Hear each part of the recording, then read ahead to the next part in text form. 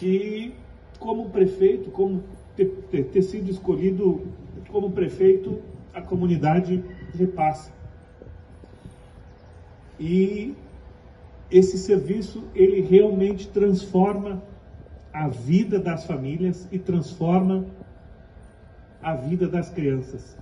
As oportunidades que essas crianças elas elas elas, elas começam a abrir a partir do momento que a gente consegue fazer orientação, consegue oferecer profissionais, consegue fazer o encaminhamento para os atos simples, para a independência da vida de cada uma delas.